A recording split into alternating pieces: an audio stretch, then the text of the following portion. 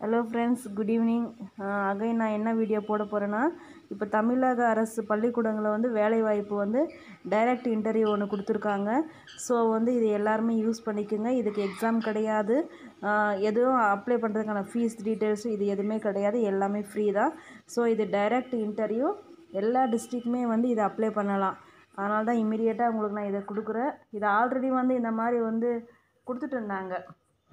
ஒரு டெம்ப்ரவரியாக வந்து கொடுத்துட்டு இருந்தாங்க. ஒப்பந்த அடிப்படையில் தான். அதே மாதிரி தான் திரும்பி இந்த மாதிரி ஒரு ஆஃபர் வந்திருக்கு.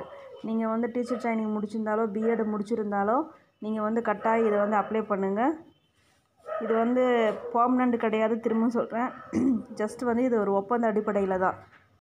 ஃபுல் டே இவ்வளோ ஃப்ரெஷ்ஷாக இருந்தா? கண்டிப்பா இருக்கும். புது கம்ஃபர்ட் ஃபேப்ரிக் கண்டிஷனர் யூஸ் பண்ணிருக்கேன். சான்ஸே இல்லை. பெட்டா என்ன சார் பெட்ல நான் ஜெயிச்சிட்டேனா? புது கம்ஃபர்ட்ல இருக்கு ஃப்ரேக்ரன்ஸ் பர்ல்ஸ் இது துணியின் நூலிடைகளில் பதிஞ்சு நாள் முழுக்க ஃப்ரெஷ்ஷான வாசத்தை பரப்பிடும்.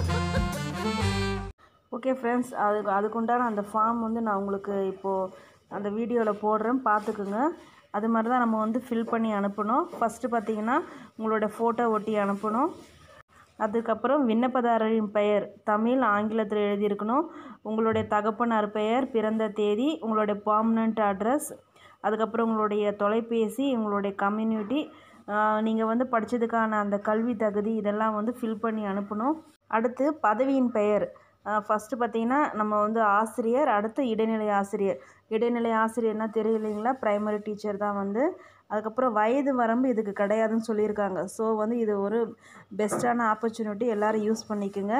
அதுக்கப்புறம் இன சுழற்சியும் கிடையாது தேர்வு கிடையாது கட்டணம் கிடையாது. நீங்கள் வந்து உங்களோட சர்டிஃபிகேட்டெல்லாம் எல்லாம் நீங்கள் ஃபார்ம் ஃபில் பண்ணிவிட்டு அஞ்சல் மூலிமா நீங்கள் அனுப்பிட்டீங்க அனுப்பிட்டு குறிப்பிட்ட தேதிக்குள்ளே இது லாஸ்ட் டேட் எப்போனா இருபத்தி மூன்று பன்னிரெண்டு ரெண்டாயிரத்தி இருபது. நீங்கள் வந்து டைரெக்டாகவே அந்தந்த ஸ்கூலுக்கு வந்து உங்களுக்கு க கூப்பிட்டாங்கன்னா நீங்கள் டைரெக்டாக இப்போ எப்படி ரேஷன் கடை இது நம்ம அட்டன் பண்ணுறோம் அதே மாதிரி டைரெக்டாக தான் போக வேண்டியதாக இருக்கும். உங்களை வந்து ஆன் த ஸ்பாட்லேயே வந்து அங்கே டைரெக்டாகவே செலெக்ஷன் பண்ணிடுவாங்க. ஸோ விண்ணப்பிக்க வேண்டிய கடைசி தேதி திரும்பவும் சொல்கிறேன் இருபத்தி மூன்று பன்னிரெண்டு ரெண்டாயிரத்தி இருபது. ஸோ ஃப்ரெண்ட்ஸ் எல்லாருமே வந்து இதை யூஸ் பண்ணிக்கோங்க.